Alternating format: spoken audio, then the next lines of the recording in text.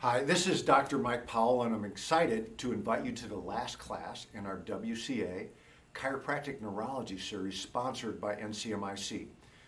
It'll be on November 4th, that's a Saturday in Madison, and if you go to the WCA website, you can register there. And the, the goal, this is the 12th of 12 uh, that, that we've done over the course of the last two and a half years, I believe. The goal is to make it so you feel really comp- competent comfortable, and efficient in applying the information and methods that we've been developing during the series. Our day will be mostly hands-on, and my assumption will be that the doctors attending will have been to at least a few of these classes before. I won't be reviewing the basics a lot, but the focus will be on how well you know the fundamentals and especially the ones that really matter and then applying them.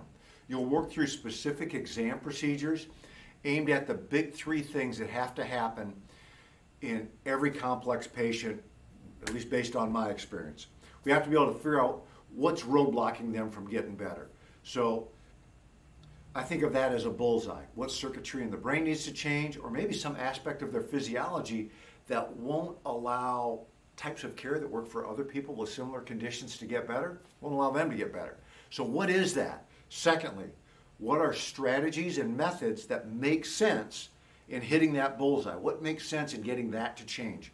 So, a bullseye, a way to hit the bullseye. And then, thirdly, the yardsticks that we need to measure whether it's really changing in the right direction or not, because those yardsticks will steer us through successful care.